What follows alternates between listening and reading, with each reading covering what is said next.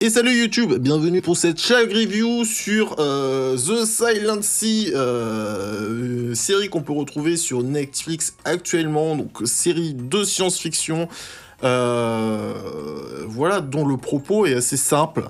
Euh... t'inquiète, t'inquiète, de toute façon je, suis habitué. Donc le propos est assez simple, en fait, nous sommes dans, une société du futur, alternative, dystopique, euh, dans un futur qui pourrait être assez proche, donc on est entre, entre, entre la dystopie et l'anticipation, hein, vous choisissez votre arme, mais, euh, mais donc voilà, en fait nous en sommes donc dans un monde où... Les ressources, notamment l'eau, euh, commencent à entièrement disparaître, c'est-à-dire qu'il n'y a plus de poissons, il n'y a plus ce genre de trucs.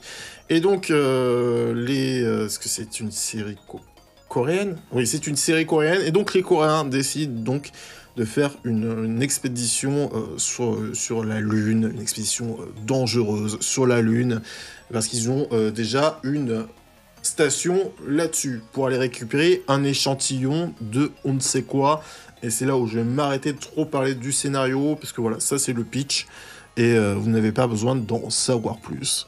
Euh... Qu'est-ce que j'ai pensé de cette série, le chat? Alors, je voulais vous faire une review sur, euh, aussi sur un autre truc de science-fiction qui était Another Life, mais j'en avais marre de vous parler de trucs que je trouve à moitié bien, alors que celle-là, quand même, je la trouve... Voilà, j'avais envie de vous parler de trucs que j'apprécie, et pour le coup, The Silent Sea. Euh, c'est un truc que j'ai beaucoup apprécié. Alors, on va pas se mentir qu'il y a une. euh, On parle beaucoup de rythmique, mais moi, en tant que monteur, réalisateur, c'est un sujet qui me, qui me tient énormément à cœur. Et là, on va pas se mentir qu'en termes de rythmique de série, bon. On n'est pas, on parlait avant euh, avec euh, les viewers de Twitch, on parlait de, Marvel et tout ça. Bon, on n'est clairement pas. C'est une série coréenne, quoi. Hein, je veux dire, voilà, on n'est pas sur des standards euh, américains et tout ça, et même de toute façon sur les séries Netflix depuis qu'il y a plus, enfin voilà, vu que les saisons passent entre guillemets, sont postées en, un seul bloc, il y a plus, il y a, plus cette gestion du rythme comme on pouvait le trouver dans les séries qui sortaient avant l'explosion de, de des, des, des services de VOD comme Netflix. Bref, tout ça pour vous dire que voilà, on est sur un rythme un peu, tranquillou, quoi. hein. Euh, mais euh, moi j'aime ce genre de rythme et pour le coup, euh, comme je vous disais, des fois ça, ça, ça, ça, ça, sert le propos de la série. Là, je suis pas sûr que ça sert exactement le propos de la série, mais pour moi ça, ça mine pas non plus la série. Vous voyez ce que je veux dire? C'est juste voilà, on est sur un rythme tranquille ou bilou quoi. Euh, donc tout ça pour vous dire que la thématique, j'ai trouvé la thématique de la série extrêmement intéressante parce que voilà, c'est pas parce que du coup voilà la thématique de l'eau, c'est pas parce qu'on du coup on est sur la lune que la thématique de l'eau ne revient pas, mais je n'en dirai pas plus parce qu'après on rentre dans du spoil.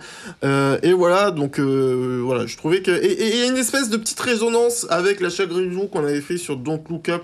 Donc voilà, si vous voulez continuer un visionnage euh, sur un visionnage d'une série, si vous avez aimé Don't Look Up et vous voulez continuer sur le visionnage d'une série qui aborde les sujets euh, au final d'écologie et qu'est-ce qui se passerait dans un monde en voie d'extinction entre guillemets, ben c'est la parfaite série euh, à regarder euh, pour voilà pour, pour ça. Après il faut faut, voilà, faut aimer les, séries de, avec rythme ou de type coréen quoi.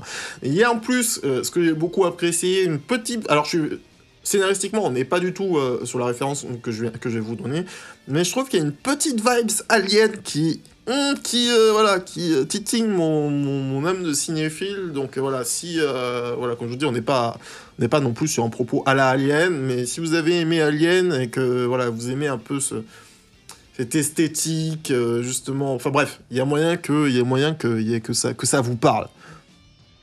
Et par contre, donc là je vous ai donné un peu tous les, tous les, tous les côtés un peu positifs que moi j'ai aimé, même si comme je vous dis le rythme, autant moi c'est un rythme qui m'a plu, autant vous c'est un rythme qui vous déplaira, mais c'est une série que je vous conseille.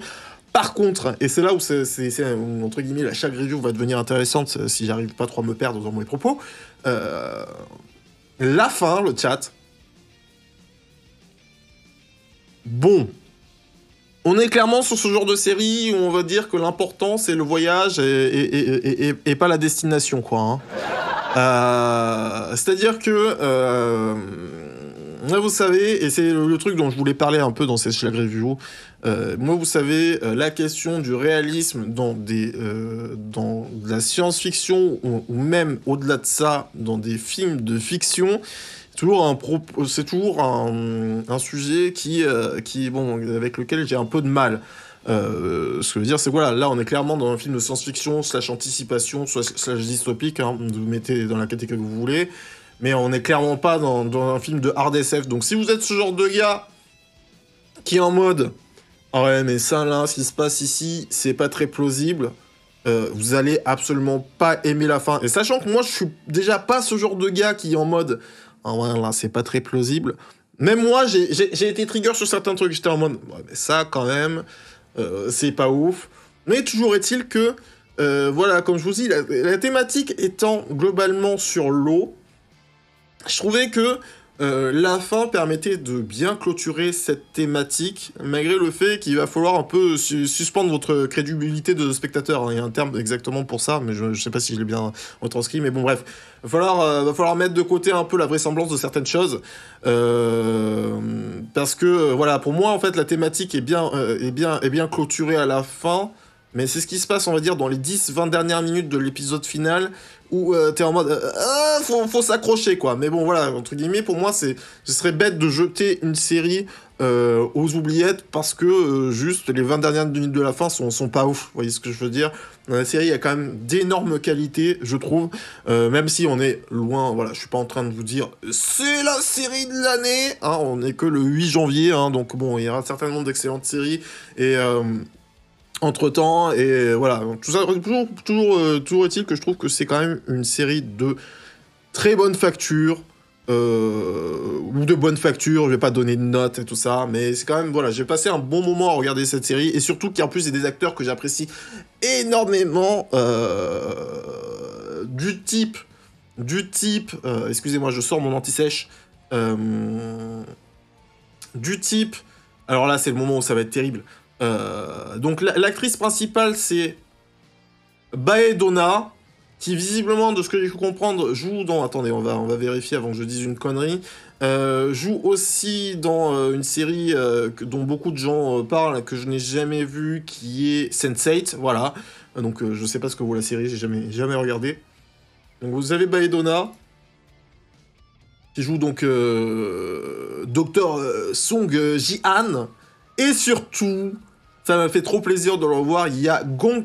Alors, je suis désolé, hein, je suis désolé pour, euh, tout, pour tous mes compatriotes coréens. Gong Yoo, Gong Yoo, euh, qui joue euh, donc. je suis désolé. Ayun Jae, le commandant de l'agence aérospatiale, qui est un acteur que j'aime énormément. Et, et non, mais attendez. C'est pas celui que je pense, si pas Et non, c'est pas le commandant, c'est le commandant de l'expédition, c'est pas le commandant. Ah, c'est Wikipédia qui me fait dire de la merde, le chat. Euh, euh, c'est le commandant de, l'expédition, c'est pas le commandant de l'agent aérospatial. Bref, tout ça pour vous dire que le cast est, très très cool. Et que donc voilà, comme je vous disais, euh, si vous êtes un amateur, parce que ah oui, dès le début aussi, il se passe un truc, bon ça c'est pas un spoil, mais ils arrivent sur la planète, voilà, il sur, sur la Lune, il se passe un truc, et ils arrivent au niveau de la station, la station spatiale, euh, donc euh, la station lunaire, et d'un coup, il n'y a plus de problème. Euh, genre. Il n'y a, plus de problème de gravité, quoi. Ils arrivent dans la station spatiale, et voilà, ça c'est un truc qui m'a trigger, le chat. Et pourtant, je vous dis, voilà, je suis pas sur. Ils arrivent dans la station spatiale, et hop, ils sont, ils ont plus, ils sont plus sur la gravité de la Lune. Alors bien sûr, hein, on va, ça, s'explique, hein, c'est pour éviter, on va dire des, des problèmes de alourdir entre guillemets en effets spéciaux et ce genre de trucs et alourdir le tournage. Voilà, c'est pour ça, enfin voilà, t'arrives sur la station, ils ont mis, bon, c'est la gravité terrienne et tout ça, ils sont pas emmerdés. Euh, donc je peux comprendre, mais effectivement, si vous êtes euh, genre euh, à cheval sur ce genre de détails, ça va vous trigger. Comme je vous dis, même moi ça m'a trigger, alors que je suis pas à cheval sur ce genre de détails, donc si vous, vous êtes à cheval, ça va être compliqué. Et tout ça pour vous dire que voilà, si vous êtes un amateur de, euh, de, de, de hard SF, ben, c'est pas fait pour vous. Et, mais voilà, vous savez, le réalisme. Ah merde, c'est dommage, je voulais beaucoup mieux vous parler de ce sujet-là, mais là, je sais pas, je suis pas, je suis pas inspiré. Mais euh, par exemple, voilà, dans, euh, dans les films de hard SF que je trouve excellents, il y a Triangle, qui est un excellent film, genre sur, la, sur le voyage spatio-temporel. Euh, mais le film a été fait avec des moyens euh, très petits Mais toujours est-il que voilà, apparemment il est extrêmement accurate. Hein. Bon, moi je, ne suis pas un scientifique donc je peux pas dire à quel point il est accurate et tout ça. Mais bon, voilà, tout ça pour vous dire que même si c'est un très bon film scénaristiquement parlant et en termes d'ambiance et tout ça, c'est pas c'est pas un vrai film de cinéma quoi. Je veux dire, euh, bon, si vous voulez un vrai film divertissant, euh, n'allez pas voir Triangle. Mais pourtant, c'est de la bonne RDSF. Ce que je veux dire, c'est que c'est pas parce que euh, c'est pas parce que un film est accurate scientifiquement parlant ou réaliste que ça fait des bons films. J'ai cru comprendre que potentiellement euh, sauf si on parle de la fin, bien sûr, j'en sais rien, mais bon, bref. J'ai cru comprendre que Interstellar arrivait à faire bien cette balance-là, mais bon, voilà, ce que je veux dire, c'est que, bon, euh, réalisme et film divertissant ou série divertissante, bon, c'est parfois pas, forcément ce qui fait bon ménage, euh, parfois. Voilà, tout ça pour vous dire que je vous conseille The Silent Sea, c'est quand même très cool. et voilà, quoi voilà YouTube, maximum de bisous sur, sur vos fesses gauche et, à très bientôt pour une, notre Schlack Review. Je pense que j'ai dit tout ce que j'avais à dire. Je ne sais pas. Et puis si, euh, si ce n'est pas le cas, euh, je me détesterai comme à chaque fois. Mais bon, c'est écrit dans le titre, hein, c'est une Schlack Review. Des bisous.